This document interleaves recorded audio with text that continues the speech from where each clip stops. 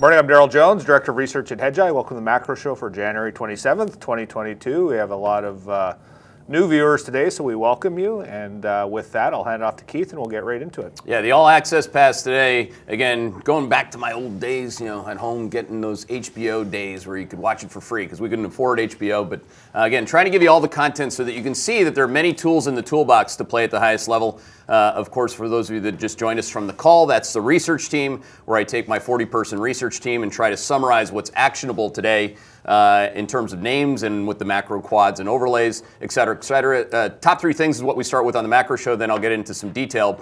So it's um, guys, let's just go to that. Number one uh, is going to be the yield curve this morning. Number two is going to be stock market crashes, which are either in motion or already happening. Uh, and in, in, this case, uh, that's a great opportunity for you, you, to capitalize on with the futures higher. And then finally, uh, hit on gold, which is a big buying opportunity here. Uh, yield curve. Okay, this is what Powell did to the yield curve. All right. Powell took the yield curve to the lowest level. So again, for those of you that don't stare at the yield curve, you should. So again, that is taking the 10-year yield minus the two-year yield. It has gone down 12 basis points already this week. That's a lot, okay? And again, if the Fed wants to raise rates three, four, five times, I think that they're going to make that dead flat to inverted. So in other words, the Fed would be, a, you know, again, not only a catalyst for a stock market crash, but would be a catalyst for a very slow U.S. economy that is threatening on going on a recession. So again, you look at today's GDP number. A lot of people are like, actually, I, I even heard one guy say, uh, it would be on CNBC, of course, absolutely no one was calling for this kind of acceleration in GDP uh, in the fourth quarter. Well, that's total bullshit. I mean, on September the 23rd, we made the call when the Atlanta Fed went to 0% GDP growth that GDP was going to rip to the upside. And that's absolutely what happened. So, again, now from the high point towards 2% and maybe lower, the longer oil stays higher. Don't forget, on a real basis, GDP is reported, so you subtract sticky and high inflation. That's a point we're going to get questions on. You can have quad three factors with a quad four market. Got it? Quad three is when you have some stagflation, and in other words, inflation won't go down yet while it's peaking, and then you get quad four market. Quad four market is looking ahead to what? The quad we're going to be in. So again, quad four in Q2 is deepening as oil stays higher. Got that? Write it down. All right, that's point number one this morning. Hey there, Hedgeye Nation, or if you're not part of Hedgeye Nation, thanks for watching Hedgeye on YouTube. If you haven't already, make sure to click on the button below there. Subscribe to our YouTube page. You can also follow the link in the description to our website to get even more great investing content. Uh, and yes, a wonderful buying opportunity. As you know, for if you if you're not watching this for free, you know that I was waiting and watching on buying things uh, like two-year notes, treasuries, again across the curve, not just twos, uh, gold. You know, waiting for this uh, Fed mistake, and we're certainly getting a wonderful buying opportunity on that today. Now, don't buy things that are crashing. Okay, we got Wild Bill Ackman, who always blows up in Quad 4, uh, talking about you know going big time on Netflix. Again, if it's crashing, if it A says bearish trend, on your pin sheet, and B has a lower low in the range, and C is already crashing, don't be that guy, okay? Now, if you can hold it forever, whatever, but this is the macro show. This is pregame, okay? We're trying to play the game that's in front of us today. We're not day traders. We're risk, manning, uh, risk managing our asset allocations and longer term positioning around the immediate term. What else? Why else are you watching anything in the immediate term if that's not what you're doing? So again, crashes. We saw it again in South Korea last night, down three and a half percent. If you look at South Korea, obviously that's in quad four back to back. If you go to uh, guys, show them slide 20, uh, some uh, free content for you there. If you go down the line, you can see back to back quad fours in Q1 and Q2 uh, are in Russia. Its stock market has crashed. Again, down more than 20%. Uh, and uh, South Korea is now down 21% from where its cycle peaked. The Russell 2000 in short order will be down 20% or more from its cycle peak. I think the NASDAQ's going to crash too. It won't take long. So, again, when you look at the futures, don't have an emotional reaction to that. It's not about the color coding or the cheering. It's about understanding where the puck's going next. We'll get into that with my boy, The Mess, and how he, he played pretty well with the Gretz. Uh, point number three this morning gold. Buy it. Just, just buy it. You know, I don't know what else to tell you. How if you don't want to learn about quads or it's confusing or quad three to quad, buy it. Got it? Buy it now. Buy gold now. Why now? Because it's at the low end of the range, right? So for all of you on the show that are subscribers are whining and complaining, well, it won't go down. I don't get to buy it. Now you buy it, right? You, it, you don't always get the low end of the range, but when you do, you buy it. Okay? So again, that's what we're looking for here. Top end of the range, we'll see if the 10 year yield starts to come down, but we're certainly at the top end of the range on twos here, and that's why gold is getting upset for a day and a half. That shouldn't upset you. It's a buying opportunity. And for those of you that remember, at this time last year, I was saying sell it. Every time I told you to sell gold last year on the short side, it worked. We'll see how we do on the long on the long side, and, and those are your top three things. The mess. Love the mess. So Jonesy, this is a late birthday gift for you, by the way. Actually, my mom got it for me for Christmas. Oh, really? So I, will I'll take two, though. No, I'll, I'll, give it to somebody else. It's a great book. Um, you know, leadership matters at Hedgeye. So again, being transparent, accountable, and trustworthy people. You know, we don't want to be liars, cheaters, salespeople that are pushing a permanent product on the long side. It's, it's ridiculous, right? We're in an America now that's in the fourth turning. But what's never changed in America, no matter what your politics or your feelings about what I just said, is that this is the place where Canadian people like the mess and the mucker can succeed, right? It's a meritocracy. It's a meritocracy, right? This is what we want. We don't want to be, you know, mesmerized by people who want to become famous. We want to preserve and protect the capital that we work so hard for. We want to avoid drawdowns, and we want to absolutely capitalize on markets when they're going to crash. Okay? It's good. It's good to be here. It's good to be part of Hedgeye community. And thank you, again, thank you very much for joining us, for those of you that have an open mind to do so. If you don't like me, I love you. All right, let's keep going. Keep going. So what do we do for the rest of the show? I show you what's in my notebook, okay? S&P 500, for those of you that, if your notebook doesn't look like this, you got to do a better job. All right? Every single day, you can go back 22 years, you're going to find that I wrote it down. Wrote down every single market price. And if you want to audit it, audit it. Be better. If you don't learn that way, then don't do it that way. But that's how I do it. It's called deliberate study. And when you study something deliberately, you can look at anybody who's done something exceptionally well over time. That's exactly what they do. They proactively prepare, they rinse and repeat. There's deliberate study. We're not just blowing one liners here. We're recapping what the numbers are saying from the screens, okay? So it comes from the machines that we built to the notebook to the page. S&P 500 risk range, you got it. All right, 4250. Why do I think the S&P 500 is going to ultimately be down more than 10%? Because that line puts it down more than 10%. And that's today's level, okay? So again, for, for people that have never risk managed a market crash, and by the way, you can audit this too. I'm the only one, only one, who uh, A, invented the quads, and number two, has never missed making a market crash call in quad four. The Fed tightening into a quad four makes it just easy, all right? So again, it doesn't have to happen today. Could happen by this afternoon or tomorrow, by the way. 4250 on the S&P 500 is the number. Okay, 4574, that's a problem, right? So yeah, there's more upside than downside uh, uh, in terms of, uh, there's two to one upside versus downside is one way to think about that, right? Because you have minus 2.3% on the downside, and on the upside you have plus 5.2%. So just north of two, two to one upside versus downside.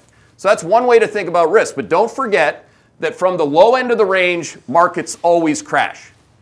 So that's where people get sucked in, like Bill did, if he bought Netflix higher than where he's talking about it today.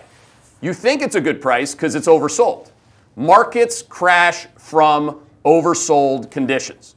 Technicians' oversold conditions, not mine. Okay? What you really should be paying attention to is the volatility of the range.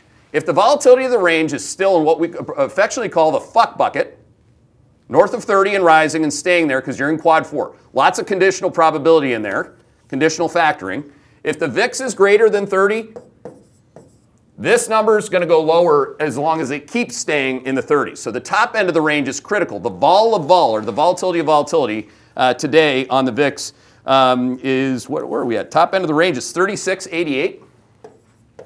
That's what gives me this number here, okay? It's mathematically derived, it's not feelings. I know my style can um, you know, excite people, irritate people, whatever.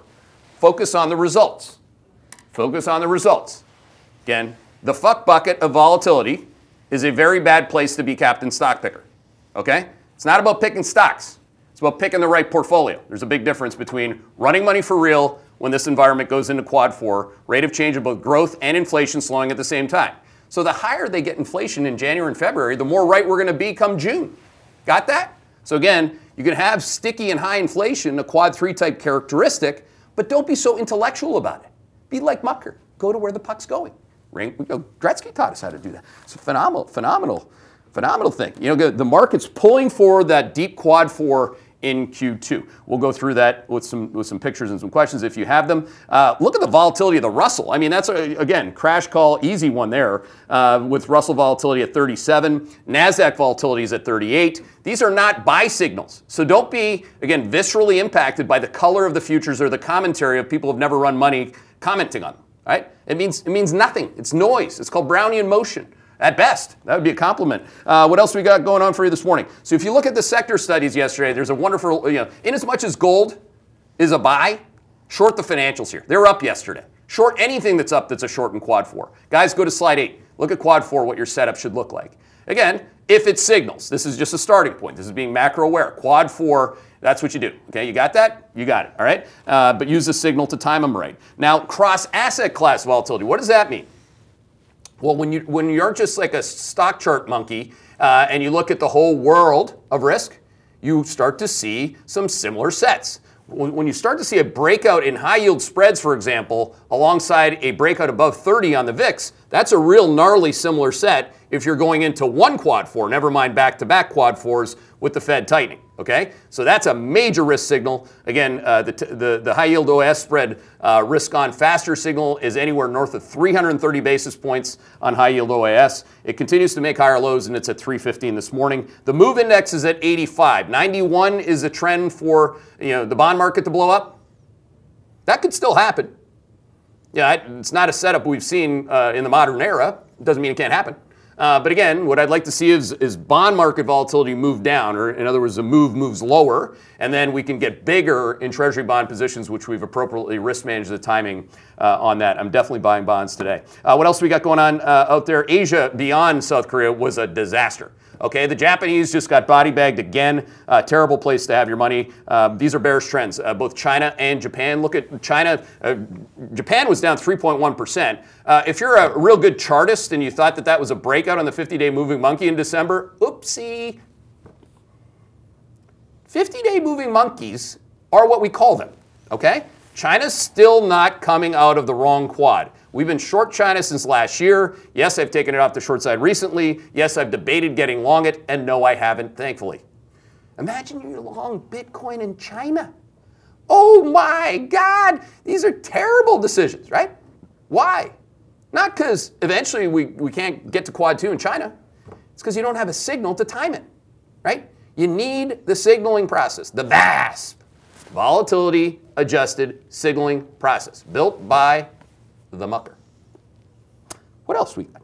Uh, breakdowns across Europe now. Switzerland's out. Okay, if you don't like it, too bad. Uh, I used to like it. I don't like when the signal breaks. That's it. It's nothing against the Swiss. Uh, wonderful people. Uh, the fact of the, the, fact of the matter is that it broke trend uh, three days ago, actually, and it reiterated that this morning. Uh, short Russia on the bounce. We still have that. Obviously, back-to-back quad fours, and you get a bear market bounce there teetering on the CAC. The CAC is France. That's the only European exposure that I have in my PA currently. Uh, you can see that obviously if you're um, paired up with one of our asset management partners that like basically you know, copies or at least goes on the rules-based process that I'm articulating here. So what I'm saying should be in the, those types of portfolios, which is Switzerland out and France still in there. But again, uh, trend for the CAC 40, write it down, is 67.40. The DAX has officially broken trend uh, and stayed there. So that's also on your pin sheet. The way to read the pin sheet, the risk range sheet, which I included all a whole bunch of stuff today uh, if it, the way to read it is if it's red, it's bad. If it's green, it's good. If it's red, it says bearish trend. If it's green, it's it's obviously bullish trend. If it's if it's if it's black or gray or whatever it is, that means it's neutral. It means it's teetering and waiting for some direction, like something like copper would be a good example of that. Uh, in uh, in commodities, top end of the range for oil but again, top end of the range for oil is, I don't have no position in oil. Uh, the way the signal works, too, I hope everyone can appreciate. I, I, I mean, I've screwed up publicly uh, any, any way you can screw up, everything, right? For 14 years, I've time stamped every single move. Uh, earlier in the year, I was short oil. And then my trend signal was 74 bucks. It above 74, I stopped myself out. That's a pretty good decision, right? Consider that, you know, bad decision to be shorted into that, good decision to not be wearing that, okay? So now at $88 oil, what are you doing, right? I have no position. I don't have to have a position in anything. I have a go anywhere strategy. And again, oil's at the top end of the range. The most important read through on that, and I'm much more interested in shorting natural gas here than oil, uh, because natural gas is bearish trend, and it's nearing the top end of the range, and it has an implied vol what? Power users, Show them the data. Look at this thing. This is like red zone. This is right there. Just show it. Come on, Jen. Ron, what are you, slow today? Pick it up. Implied vol data. Come on. What the fuck do you think I'm looking for? Come on. Come on. Put it on the board so I can write on it. These people that are watching this for the first time are like, I don't read numbers. I like narratives. Um, I, I, I, it's too much, too much. Tell me a story. Tell me a story, Gerbs, about huge things going on at Tesla, other than the bearish trend signal, by the way, at Tesla. Now I got a filibuster because you guys are off your game on a day like today. Come on, pick it up, put it on. Come on. Come on. Ah, this is so, so. See how, see how we are as a team? We got, we can always get better too. Uh, all right, here we go. So I got it. So this is called implied vol. IVOL taught to anybody you've heard parrot it by me. Okay? So again, you got it right here. Uh, you look down here, there are a bunch of implied volatility premiums. That means that people are panicking, right? They're starting to buy puts and buy protection. Okay, well, that, that can be uh, a buy signal in a bull market like we had last year. Every time those would balloon to 40, 50, 100%, I would say buy the damn dips. Now I say sell the rips. Okay? Now, one of these things looks not like the other. You go to the natural gas, it's minus 25, right? Minus 25 versus minus 2 a month ago? That's how to read the data. So what you do with this is you look for A, the top end of the risk range, and B, a developing IVOL discount. You know, IVOL discount. In this case, we have minus 25%. So that is like doubling down when the dealer has a 6 in blackjack. Right? Uh, it doesn't work 100% of the time for those of you that are like, oh, you did the blue. Enough. This is a game about playing and weighing probabilities. So that, that is the highest probability bet you can make on the short side is when something is, a, again, below trend at the top end of the range with a, a diving implied vol discount. That means that people aren't buying puts, they're actually chasing the thing and, and or just you know, selling puts in, in some cases. Uh, one thing I was going to add, which is kind of interesting, you know, we're still experimenting with it, but uh, our deep learning model on natural gas, which is you know basically you put all of our the key factors into machine learning, saying the same thing. This yep. is this is where you want to sell, right? Isn't that amazing? When you put all the things that just came out of my mouth into a machine, it says the same thing. Um, you know, that's the thing with me. I, I, I have, I've, it's taken me, God knows it's going to take me, it's taken 14 going on 15 years, probably takes another five to 10 if you're new at this. Uh, obviously, it might take me longer than that. But coaching you and, and getting you to level up to what's in my head and in my models, it could take some time. It's okay. The alternative is not having an easier thing to understand that doesn't work, okay? That's not the answer. That's absolutely not the answer. So again, these are critical signals within the signal to be paying attention to, obviously. Um, and gold, for example. So if you look at gold, um, let's, let's do the same dance. Uh, it's got an implied vol premium. It's not huge. After today, it'll be bigger, um, which is why I'm going to say go bigger. If it goes lower than where it is today, go bigger. What is your top What's your top size in, in gold? Mine's 10%. So I can go really big in gold, okay? I can also short gold because we go both ways and we like it. Sexy. Copper. There are divergences all over the place in commodities. So yeah, peak inflation, oil's going to drive it. It's the number one factor in the model. Uh, another peak inflation print. That's going to keep Powell poopy poopy in the Powell pants. He's going to keep trying to cover his tracks on what he had wrong. The only thing worse than not knowing that inflation could go to north of 7%, which we did, is thinking that it'll stay there for the rest of the year. Okay? Even people who don't do math think that. The Gallup poll 80% of Americans think that inflation is going to be higher in six months. In six months, there is 100% probability that, that, that inflation is going to be falling. Falling to what? Okay, we have an answer for that. Put up slide 15. We don't have it falling to 2 when he says 2. No, we now cast it daily, okay? So when you look at that, you can see that we have inflation going towards 5, right? So I expect the long end of the curve bond yields to look like that. They'll peak in and around 1.9 if the if the risk range is what it is today. Today, look at your pin sheet on the 10-year yield. It says 1.91%. That's where I think your downside is in terms of where your patience should be in accumulating long-term bonds, TLT, 20-year notes, stuff like that. Uh, so that's that's how I want you to think about that. 30-year bonds are still saying that that is absolutely correct. Break evens across you know anything, five-year, 10-year, they're all saying what I'm saying. The only one who doesn't get it is Powell. He didn't get it the whole way up. How do you think he's going to get it on the way down? He's going to perpetuate the way down. That's just a lot, you know, for these guys and gals at the Fed. They're going to be responsible for crashing not only the stock market, but everyone who's long crypto. Because crypto goes down in quad four too. If you didn't know, now you know. Dollars? Are you long dollars? Awesome. That's a top asset allocation. It should be in quad four, at least it is for me today. And yes, I'll be selling some dollars today when everybody at Bloomberg showing you the chart that looks good. Um, so something to think about there. Bitcoin's risk range is on your sheet as well. Uh, shorting that, shorting that, uh, shorting the equities that are linked to that. Is that shorting the Maestro, the Saylor, Hope.com stock? That's been awesome. Um, so again, uh, good spot to take some questions. Okay. Um, go this one first because I don't believe you hit on this yet. Uh, what about financials? This is Rodrigo from Madrid. What about financials? It seems the price is yet not reflecting the quad four economic look, outlook. Also, the implied versus realized volatility is low, 30, 33% yesterday. I'm short.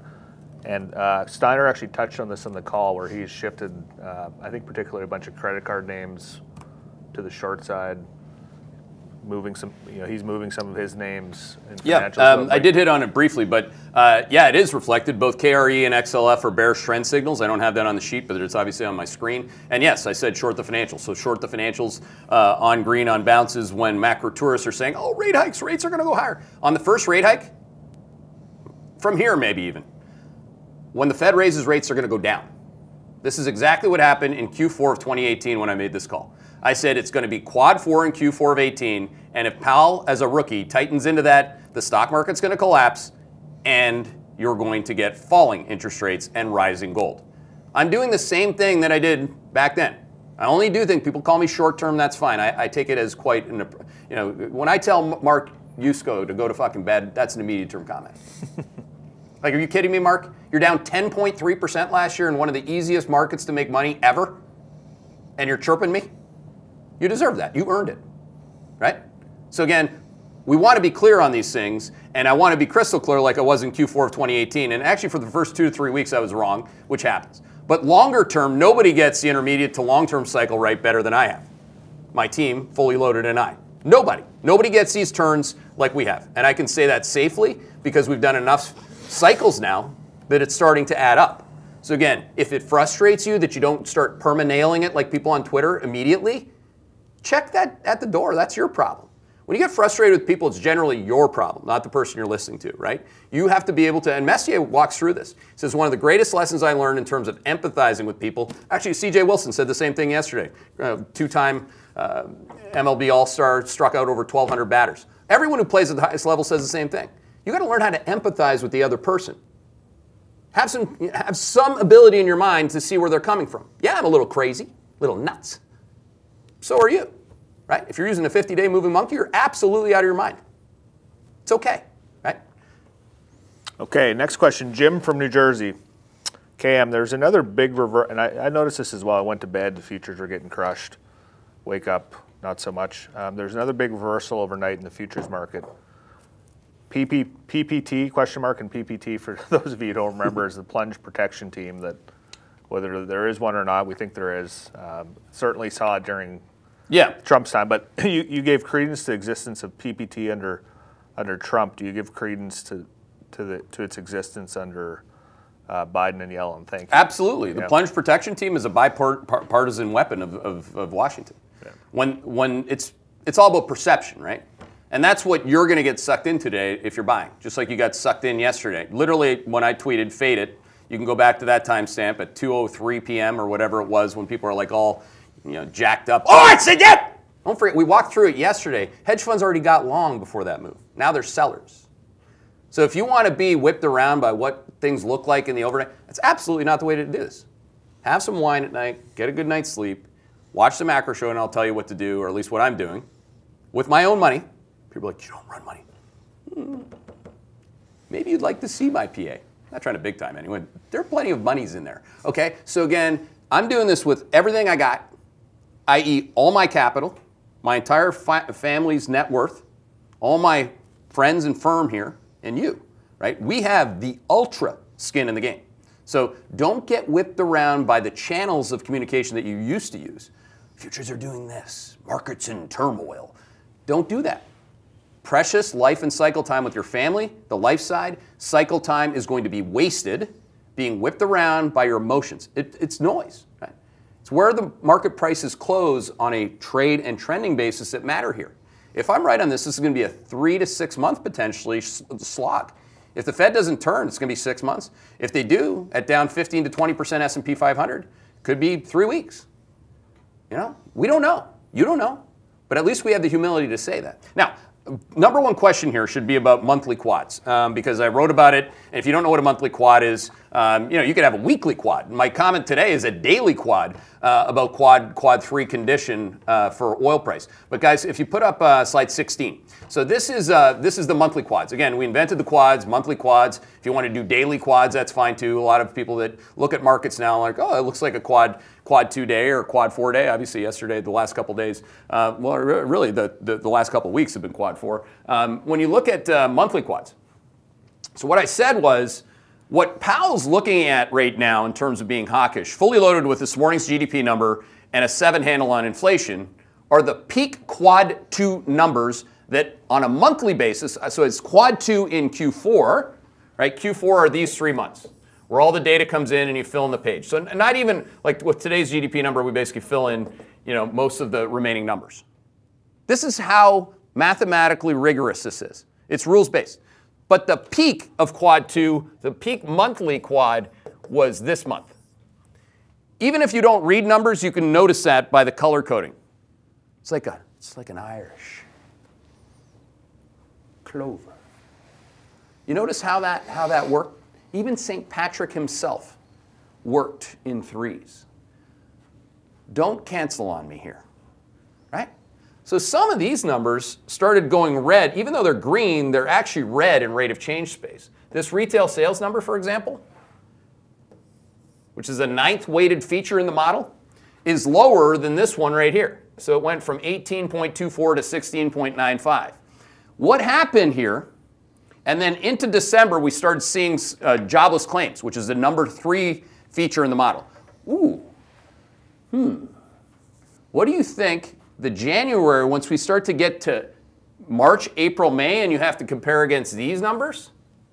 Real consumption growth has to go from comparing against a down 2 in February to up 10 to up 25. Yeah. There is 100% chance. I only said this one other time in my career. It was last year. And I said it the opposite.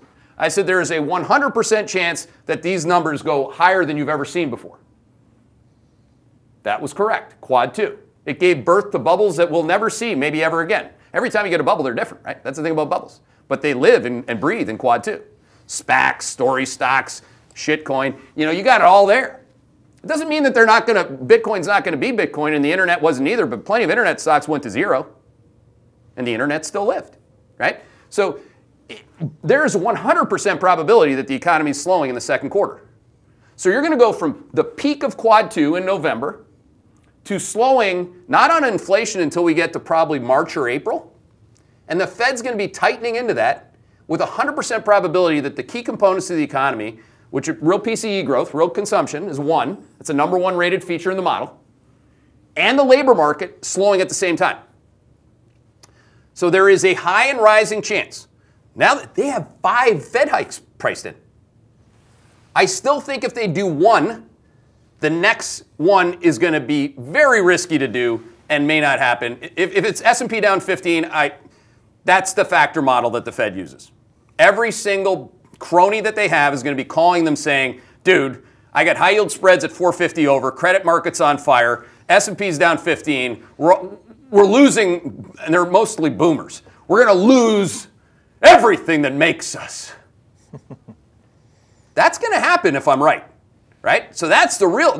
I actually have not very, as you can see, Jonesy, I only have, this level of conviction once, which was last year on the other side of it. Yeah. So we're making the opposite call using the same model, and I want to make sure that people understand that the monthly quads are critical. So again, while it can be a narrower quad four in the first quarter, by the time we get to the third month, which is the March set of numbers, that monthly quad is going to be slowing.